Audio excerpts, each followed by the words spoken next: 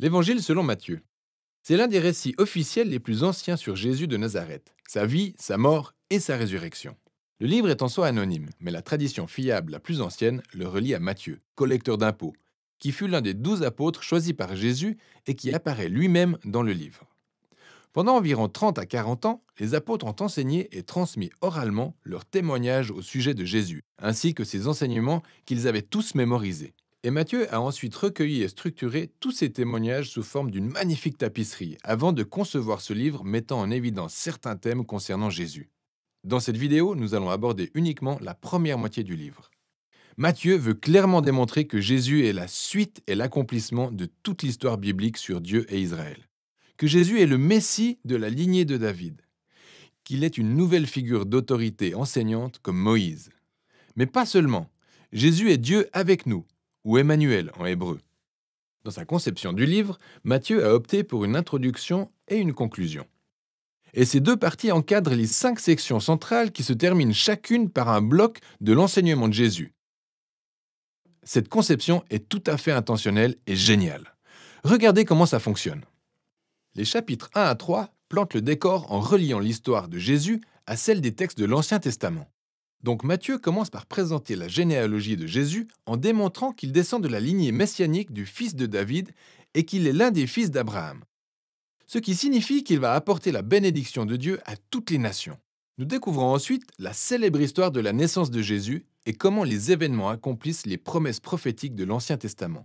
Prophéties qui disent que les nations viendraient honorer le Messie, que le Messie naîtrait à Bethléem et bien plus encore, la conception de Jésus par le Saint-Esprit qu'on appelle Emmanuel. Ensemble, ces informations nous montrent que Jésus n'est pas un être humain ordinaire. Il est Dieu avec nous. Dieu devient humain. Vous pouvez donc identifier deux des thèmes principaux de Matthieu dans l'introduction. Il provient de la lignée de David et il est Emmanuel. Mais Matthieu veut également montrer que Jésus est un nouveau Moïse. Alors, tout comme Moïse, Jésus a quitté l'Égypte, est passé par les eaux du baptême et est resté dans le désert pendant 40 jours.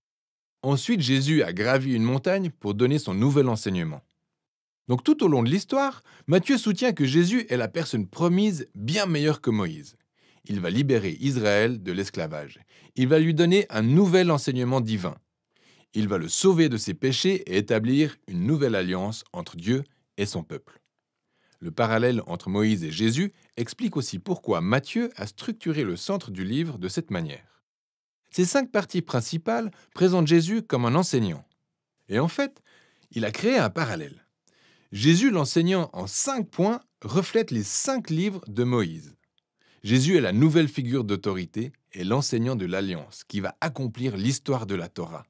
Dans la première section, des chapitres 4 à 7, Jésus entre en scène pour annoncer l'arrivée du royaume de Dieu.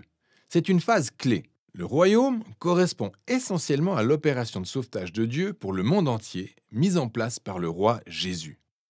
Jésus est venu affronter le mal, notamment le mal spirituel, avec tout son héritage d'oppression démoniaque, de maladie et de mort. Jésus est venu restaurer le règne de Dieu dans le monde entier en créant une nouvelle famille de personnes qui va le suivre, obéir à ses enseignements et vivre sous son règne. Alors, après avoir commencé à guérir des gens et former un mouvement, une communauté, Jésus emmène ses disciples au sommet d'une montagne ou d'une colline et il livre son premier grand bloc d'enseignement, qu'on appelle couramment le sermon sur la montagne. Jésus explique en quoi consiste le fait de le suivre et de vivre dans le royaume de Dieu. Il s'agit d'un royaume inversé où il n'y a aucun membre privilégié. Donc les pauvres, les anonymes, les riches, les religieux sont tous invités et appelés à changer, à se repentir, à suivre Jésus et à rejoindre sa famille. Jésus précise qu'il n'est pas venu pour annuler les commandements de la Torah ou l'Ancien Testament, mais bien au contraire, il est là pour les accomplir tous par sa vie et ses enseignements. Il est venu pour transformer les cœurs de son peuple afin que chacun puisse réellement aimer Dieu et aimer son prochain, y compris ses ennemis.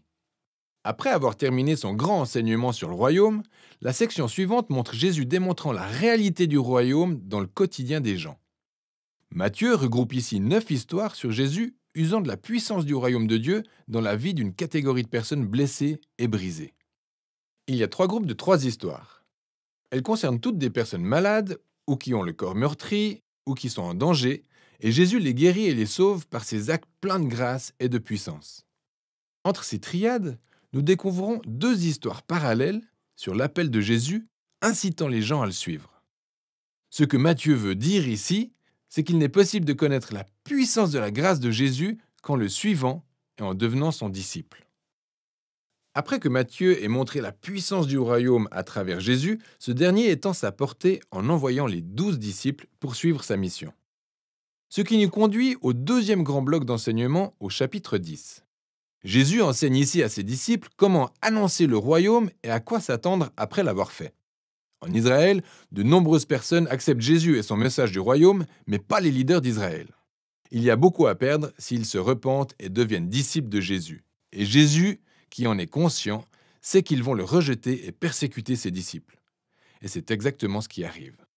Dans la section suivante, des chapitres 11 à 13, Matthieu rassemble un groupe d'histoires au sujet de la réaction des gens vis-à-vis de Jésus et de son message. Les réactions sont très mitigées. Certaines sont positives, les gens aiment Jésus et pensent qu'il est le Messie. D'autres personnes sont plus neutres comme Jean-Baptiste ou même les membres de la propre famille de Jésus. Et il montre clairement que Jésus ne se présente pas comme il l'espérait. Puis il y a les leaders d'Israël entièrement négatifs. Il y a les pharisiens et les enseignants de la Bible qui rejettent tous Jésus. Ils pensent qu'il est un faux enseignant et qu'il égare le peuple. Ils pensent que les déclarations qu'il fait à son sujet sont exagérées et blasphématoires. Mais Jésus n'est pas surpris ou choqué par toutes ces différentes réactions. Au contraire, il y consacre le troisième bloc d'enseignement au chapitre 13. Matthieu y énumère un tas de paraboles de Jésus sur le royaume, comme celle du fermier plantant des graines sur quatre types de sol, ou celle d'une graine de moutarde, ou d'une perle, ou encore d'un trésor enfoui. D'une certaine façon, ces paraboles viennent commenter les histoires que vous venez de lire dans le chapitre 11 et 12. Certaines personnes acceptent Jésus avec enthousiasme et d'autres le rejettent. Mais le royaume de Dieu est la valeur suprême, alors il continuera de se répandre malgré tous ces obstacles. Donc voilà pour la première moitié de l'évangile selon Matthieu. Maintenant, il y a encore quelques éléments à repérer lorsque vous lisez ces chapitres. Souvenez-vous que Matthieu présente Jésus comme la suite et l'accomplissement de l'histoire de l'Ancien Testament. Observez comment il navigue entre les citations tirées des textes de l'Ancien Testament. Vous noterez qu'elles sont placées à des points stratégiques de l'histoire, donnant plus d'informations sur Jésus et son identité. Donc prenez le temps de vous poser pour chercher ces références et les lire dans le contexte de l'Ancien Testament. Le plus souvent, vous découvrirez des connexions vraiment bien et intéressantes. Et finalement, observez les types de personnes qui acceptent Jésus et le suivent. Vous verrez qu'il s'agit généralement de personnes non importantes, d'anonymes ou d'irreligieux. Il s'agit des personnes transformées par leur confiance ou leur foi en Jésus et qui le suivent. Les personnes offensées par Jésus sont des religieux et les orgueilleux. La question est donc de savoir quelle tournure va prendre cette tension entre Jésus et les leaders d'Israël. C'est précisément ce que raconte la deuxième moitié de Matthieu.